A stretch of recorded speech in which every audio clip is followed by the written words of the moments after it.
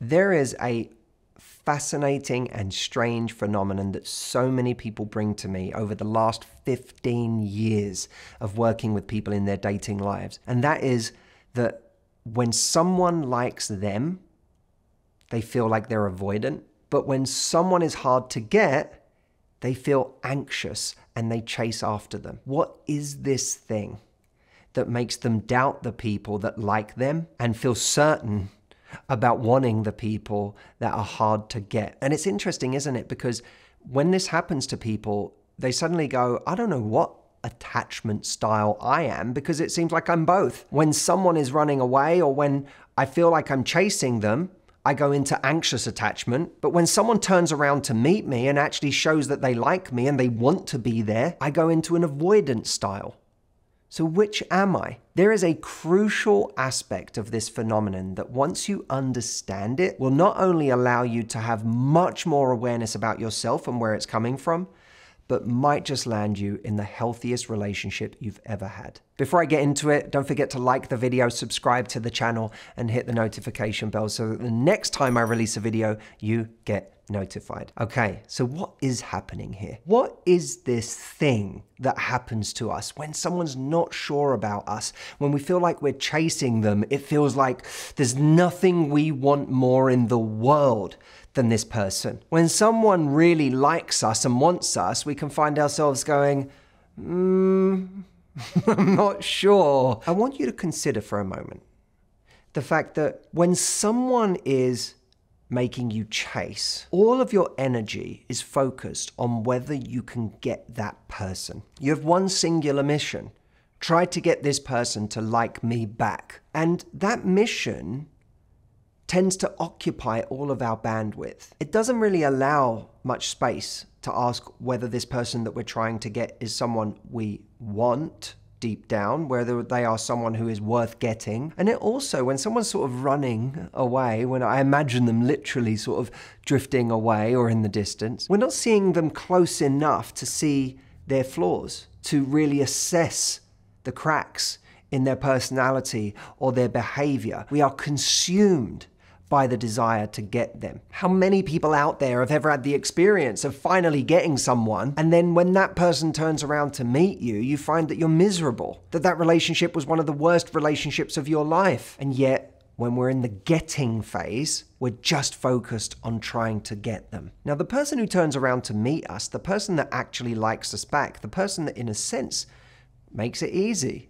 it's simple. They want to be with us. They want to be around us. They like us. They've made it known. We no longer have all of this space taken up by trying to pursue. Instead, we've freed up all this bandwidth to be able to just assess the person in front of us and go, are they right for me? Do I like them? And we tend to put more focus on the flaws. What's wrong with it? Our human brain, once it's figured out a certain situation in life, once we've got something, what do we tend to do? We go straight on to what's the next problem? What's the next thing I have to solve? So when we have a person in front of us that we like that doesn't represent any more work, we simply look at them and we start finding flaws. Now, sometimes we're right and that person isn't right for us. Other times, we run the risk of turning away people who could actually make us very happy and create a beautiful relationship with us. At the essence of this is the difference between being a leader and being a follower. When we're in leader mode, we decide what we want in our lives in a relationship, what we want in a person. We decide what's important from the point of view of our needs. And then when we find someone who can provide those things,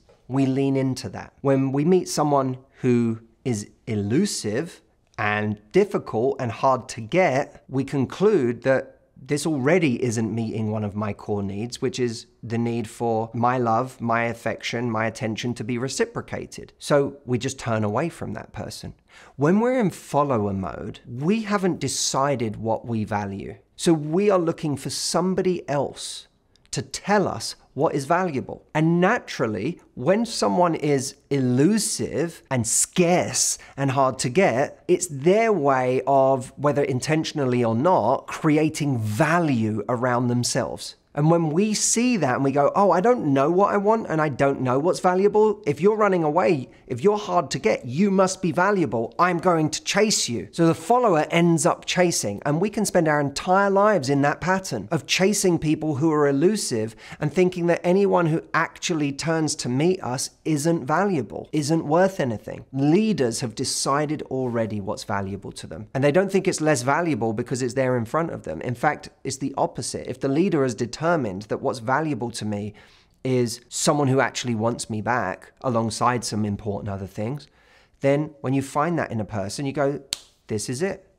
This is the thing. At the crux of this is people not trusting themselves. When we're a follower, we look to other people to tell us what's valuable. When we're a leader, we have decided what's valuable, and we do that from a place of confidence and self trust. So the question becomes how do I get to a place in my life where I actually begin to trust myself? Maybe you're watching this and going, my God, my whole life I've been taking my cues from everybody else and not actually getting in touch with trusting my own decisions. If you're in that place, this is what I do with people when I have my retreat. I spend six days with people working on their self confidence, on their internal compass, and their ability to trust themselves and their own decisions so that when they come out of that program, they're in alignment about what they want in life. And all of a sudden, they're able to orient their life towards things that actually lead to long term happiness instead of things that lead to massive pain. And I have watched over 15 years of coaching people, the same people running headfirst into pain